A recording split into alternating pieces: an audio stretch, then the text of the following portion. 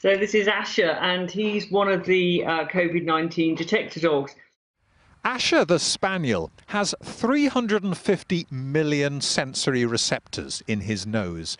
The government is paying half a million pounds to see if he and five other sniffer dogs can be trained to sniff out people with COVID 19. The dogs will be screening individuals up to 250 people an hour. Now, this is a, a, a 0.5 of a second sniff, and they will be reliably able to tell whether somebody's carrying the virus and therefore needs to take a medical test to be isolated. This is how the same dogs were trained to detect people with malaria.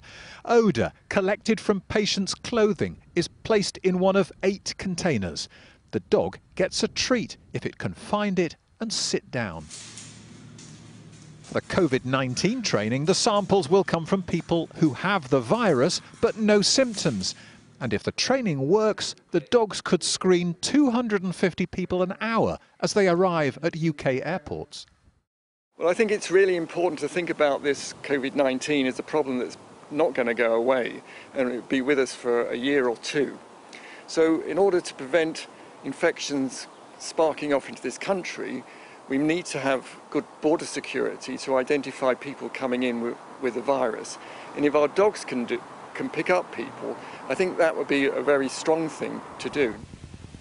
The researchers say they'll know if dogs can be trained to detect people with coronavirus by September, in which case hundreds could be working in UK airports by the end of the year.